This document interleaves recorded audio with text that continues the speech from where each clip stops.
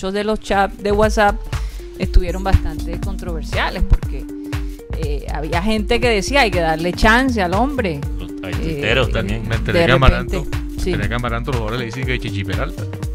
Sí, A propósito de música. Chichi, pero- Se parece. Hay que, hay, que, hay que hacer un. Hay que, hay que mirar a los muchachos de producción eh, que parezcan la yo A mí no se me parece mucho, ¿no? Hay que, ver cómo- hay, hay que ver si canta, porque es lo- Hasta eso pu- puede que cante. Oye, En sí. todo caso, pues el partido, la verdad, ayer estuvo, yo lo tengo que confesar, casi me quedo dormida.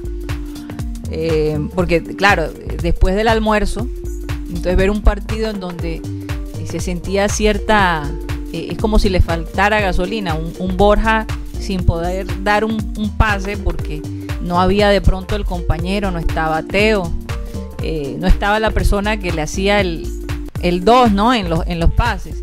Eh, honestamente preocupante porque no hay un equipo que pueda defender si no está Teo o si no está Zambuesa. Eh, yo creo que también para el, técnico eh, esto fue un experimento, ¿no? Un experimento a ver qué tanto puede el Junior estar sin Teo o sin Zambuesa. Yo honestamente te digo, ayer el partido me apagó completamente. Lo sentí a ellos muy diferentes al partido anterior. Y una tristeza que se haya pedido, se haya perdido, pues, el hecho de que estaban invictos, ¿no? Por, por tantas, tantas fechas.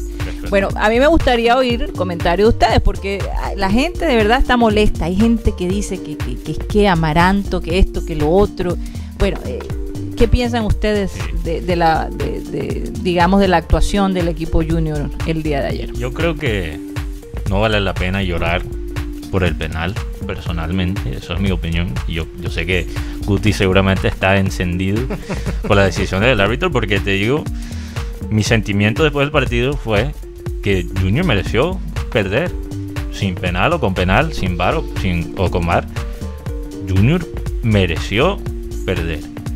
La equidad tuvo las oportunidades más claras del partido incluso generaba, generaron mucho más.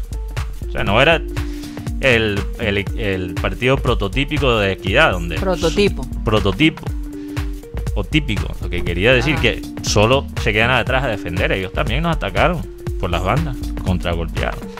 Ahora, yo sí, esta vaina de Amaranto, interesante porque hay gente que, que toma micrófono, que empieza a escribir en Twitter y hablan con una rabia y se expresan de Amaranto como si Amaranto eh, les hubiera quitado la novia. Y, y para mí, criticar y sacar machete contra el técnico Mm. después de una derrota es como sobresimplificar la cosa. O sea, no es culpa de Amaranto que se lesionó Fuente. No es culpa de Amaranto que hay una dependencia total sobre Teo. Él es- no es el que firma los cheques. No es culpa de Amaranto que se lesionó Sambuesa. No, hay, no es culpa de Amaranto que Teo tiene el poder de decidir qué partidos juega y qué partidos no. Eso ya estaba así antes de, de la época de Amaranto Pérez. Entonces, mira, yo hay que criticarlo, hay cosas que se pueden criticar. Pero yo creo que antes de tomar micrófono, antes de hablar sobre este tema, hay que quizás buscar uno esos aceites de, de marihuana para calmar los nervios. Ar- árnica. No hay que, no hay que, no hay que sobrepasarse. O de las manzanilla. Sí, exacto. O árnica para, No, y- para el ardor. Y no hay que venderle a la gente, al hincha, angustia, porque la vida es muy corta para angustiarse por un partido fuera de casa contra la equidad, sin nuestros mejores jugadores, y con ese potero que tienen allá en. Yo no en sé, pero esas personas que critican tan rápidamente son los mismos que alaban rápidamente. Sí. Suben y bajan, no hay un punto medio. Entonces, mira, lo que, lo que más critico de Amaranto es lo que ya es algo consistente, ya se ha vuelto un problema realmente, que Ujú. esto de los cambios. Es lo mismo que pasó contra América. Eh, gracias a Dios, Viera salvó ese partido y, y sal- salvó a- al equipo eh, por error de Amaranto. Es que Amaranto hace los cambios a veces y tiene una lógica, pero no es una lógica basada en lo que está ocurriendo en la cancha. Es mucha teoría. Él es un buen técnico, por ejemplo, cuando se pierde un partido y hay que ajustar en los entrenamientos, hay que analizar, ahí está, y llega el equipo del próximo partido y juega mejor. Él es bueno en eso. Pero leyendo el partido en tiempo real, le falta todavía. Quizás ahí es la falta de experiencia también. Algunos técnicos que empiezan de una ya con ese, ese sentido. Y pasó de nuevo con este cambio después de la lesión de Fuentes. Claro.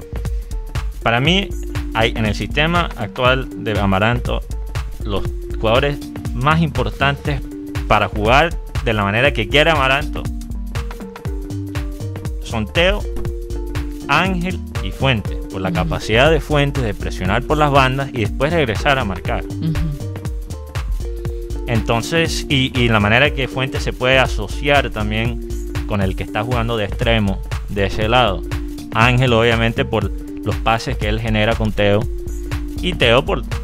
es- No hay que explicar eso. Sí. Obviamente es la, la pieza. La, Oye, y preocupante porque a Teo los que le quedan son cinco meses de contrato. Sí, entonces, mira, eh, estos son problemas también a nivel de organización, de no tener un reemplazo obvio a Teo. Teníamos tiempo para buscarlo, teníamos tiempo para desarrollarlo. La otra cosa que sí critico de Amaranto, a- además del cambio de meter a, a Dani Moreno y poner Ginestrosa de ese lado, porque lo que hizo eso es que nos quitó el único jugador en la ofensa, en el ataque, que podía ponerle un pase a Borja. Después que Ginestrosa bajó al lateral defensivo, Borja básicamente no existió en ese partido. Sí, sí, Era como jugar con 10 hombres. sí. Y es que Borja no es ese tipo de jugador que te crea una oportunidad él solo. Depende del pase. El otro error fue, yo creo, no usar a Majarres, que mucha gente también lo ha dicho.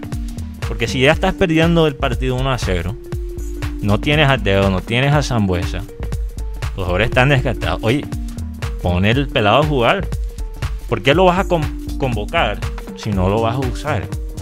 Si él no está listo para entrar a jugar 30 minu- minutos porque está en la banca, mejor déjalo aquí en Barranquilla. Me parece una pérdida. Entonces, bueno, hay cosas positivas de lo que ha hecho Amaranto en esta temporada, pero esto de los cambios lo tiene, lo tiene que arreglar. Sí. Lo tiene Sí, que sí, arreglar. sí, sí. Y ha pasado ya varias veces. Entonces, Sí. ¿qué Yo adhiero, tú, yo adhiero a lo que dice Mateo y le agrego lo siguiente. En este partido no apareció el gol Salvador que estuvo ahí en los pies de en el botín derecho del chino Sandoval. Que bueno, dicho sea de paso, hizo la que hacen los delanteros nuestros, ¿no? Que es patear a las manos del arquero o buscar la humanidad del portero. Siendo que tiene un arco a su disposición para cambiar el- la decisión, la trayectoria de la pelota, en fin, ponerle la, la situación más difícil posible a los arqueros, pero en este caso el chino pateó a las manos del arquero.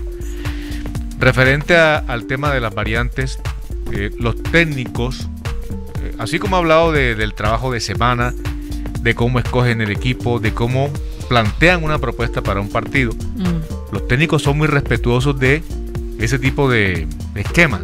Dicen, voy a jugar con 4, 4, 4, 2 y lo voy a preservar de esa manera. Si se, se te lesiona un lateral zurdo y tienes un lateral derecho en el banco y tienes en el campo a un hombre que hace de lateral zurdo o que lo ha hecho porque lo ha implementado y Biafar ha jugado bien también por el flanco izquierdo, hombre, no te compliques. Sí. Pero entonces Amaranto hace los cambios que ya reseñó Mateo y enreda el equipo. Cambia completamente la propuesta porque tienes a un hombre que tiene profundidad o que tiene desborde por el lado izquierdo, lo pones a marcar. Entonces pones delante de él a un hombre como John Pajoy que es tu extremo derecho. Es decir, anulas la velocidad en ambos costados. Metes a Daniel Moreno que es un hombre que necesita. Y yo pienso que eh, este tipo de circunstancias son negativas para un jugador como Moreno que no es un mal jugador, para mí no es un mal jugador, simplemente que necesita apoyo, necesita acompañamiento, necesita con quién conjugar sus capacidades, por no decir sus virtudes, porque la gente se la tiene, como dice uno, aplicada al jugador. Eh, Amaranto se complica, entonces ¿qué hace? Que desdibuja por completo su esquema, su propuesta, la borra con el codo y sacrifica al equipo a no tener conexión ni mucho menos forma de desahogar su juego y tratar de generar juego por el centro que no lo iba a tener porque no tenía un enlace como Teófilo que la más de las veces se junta con Borja genera juego, provoca situaciones de riesgo, genera faltas por el centro y eso realmente lo sacrificó Amaranto. Pero Perea. Rodolfo, ¿por qué piensas tú que Amaranto insiste, a pesar de que no ha tenido éxito en los últimos partidos, de esos cambios de pronto anticipados? ¿Cuál será creo- el, el- el empeño de él ahí? Yo creo que eso es un Porque tema- además él debe estar escuchando la crítica de la gente. Yo creo que ese es un tema, ese es un tema eh, recurrente porque se trata de lo que decía Mateo, su falta de experiencia. Es la lectura de los partidos. Es que ese, ese análisis era tan simple que tú mirabas la planilla y decías, bueno, ahí está Piedradita. ¿Cierto? Mete a Piedradita por derecha y manda a Biafara para el sector izquierdo. Y él hizo algo que eso fue un rompecabezas lo que hizo. Él desarmó el rompecabezas.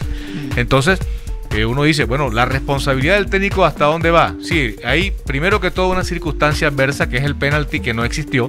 Sí. Para mí no fue penalti. No, no. Y segundo, la lesión desafortunada o infortunada de Fuentes. Son cosas en las que Amaranto no, No manda. tiene control. No tiene control sobre eso, pero sí tiene control en preservar la propuesta que llevas. Sí. Sí. Cierto, si ya tú ves que tu equipo no responde y en los últimos 15, 20 minutos tú quieres mandar al zaguero delantero, tú dices, voy a arriesgar todo o nada. Pero los técnicos apuestan a conservar el esquema porque eso lo han trabajado el, el tiempo que han podido hacerlo entre semanas, siendo que ahora no es mucho lo que pueden trabajar. O sea que no se han preparado para los contratiempos. Sí. No, es que hay circunstancias, pero es que el técnico también dice, bueno, o sea, tú también tienes que tener claro en tu mente qué debes hacer si se te, si te lesiona un jugador tan importante en este momento como lo es Fuente, que se ha recuperado de una forma y Pero coincido con es Manuel. Eso refleja, eso Sí. refleja la manera de pensar a veces de la gente aquí en Colombia. No hay un plan B, C, D, no, no hay nada. Lo- Van a la fija. Lo, lo que pasa, sí, mí- yo creo el, que pla- el plan B existía, lo que pasa es que él no, en ese momento se nubló. sí, yo, yo creo que Amaranto tiene muy buen plan A, en mi opinión. O sea, su, su plan principal, teniendo todas las piezas ahí, hasta ahora me ha gustado. Pero lo que pasa es que el plan B es- es- tiene una déficit cuando no hay Teo, no hay estos jugadores. No está Zambuesa, por ejemplo. Sí, y, exacto. Y no es que Junior no tenga buena banca. Si- o sea, si solo leas los nombres, o sea, Junior tiene profundidad en, en casi todas las, las posiciones. Lo que pasa es que el estilo de jugar con esos suplentes es muy, muy diferente que el estilo de jugar principal, el plan Claro. E. Cada quien tiene lo suyo. Mm. Exacto. Oye, Guti, Pues yo, sí. pues yo creo que lo primero es la nómina cuando la arma. Y para mí jugar con dos jugadores con el mismo corte en la, en la zona de volantes tampoco es tan, tan producente, contraproducente. Porque me encuentro con un Fabián Ángel, que es un jugador que, que te ocupa mucho el campo, pero con un Didier Moreno que también hace la misma, la misma función. En cambio, un Larry Vázquez, que es un jugador con mejor salida, podría haber sido diferente. Es más, cuando hay una parte en la transmisión cuando el periodista dice que un jugador le dice al compañero, marquen a- marquemos a Ángel, Sí. que el balón lo tenga Didier Moreno, Sí, claro. o los defensas, y te das cuenta que ya Ángel, a pesar de que es un jugador joven, ya está referenciado, y ya saben el jugador que es. Y el caso de Teófilo, yo esto lo, lo venía pensando, ¿dónde está el jugador de Junior que dice, ah, bueno, que no somos teodependientes, que, sa- que saque la casta y diga, yo, yo puedo llevar este equipo adelante?